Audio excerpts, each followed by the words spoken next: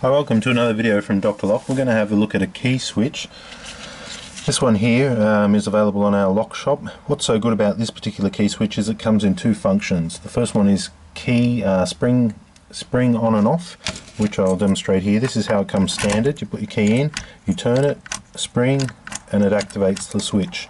This can be used for roller doors, tilter doors, electric doors, gates, anything like that. If you've got a gate or uh, somewhere that the meter man needs to have access, by installing the right cylinder you can simply install this on the front and then hook up your wires so that it can activate a gate, a roller door, um, sliding door, anything electric, um, anything you'd like, like basically that is uh, you want to switch on.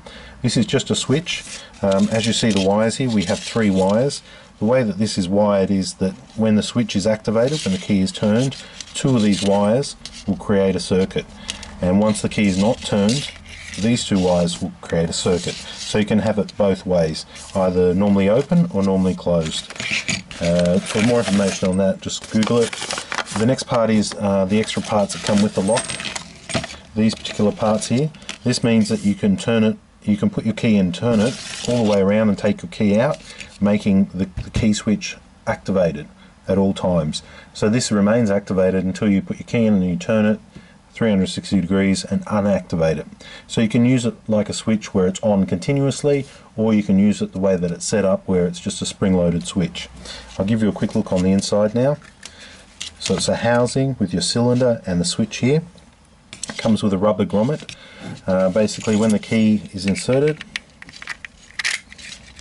cam turns this switch here which activates whatever you'd like it to activate. This cylinder here is changeable. We can change this for a high security cylinder. Uh, we can also put in the power cylinder as well. If you want uh, a particular one, just email us, we'll need to order it, and then we can do that for you. So that way you can put this on the front of your gate, allowing the meter man or gas man to access your property simply by putting in their master key and doing that.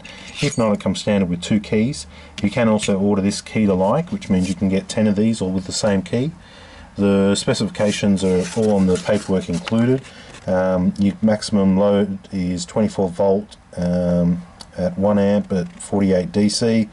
Uh, the black is the common, the blue is the normally open, the grey is the normally closed.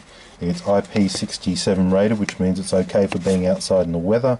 Uh, this gives you the instructions for putting the permanently on or permanently off cam on the back, and that's basically all the instructions that are needed. These screws are included, self-tapping screws, and they also come with the security head on top. That's not included, the security tool. You'll need to have one of them on, on your own. I'll give you some measurements as well.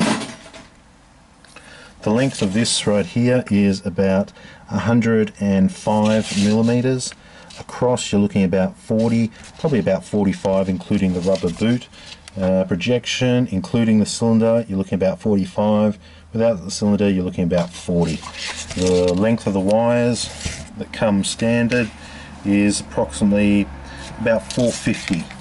So that's the uh, that's the on and off key switch by Trencab, available from drlock.com.au. Thanks for watching.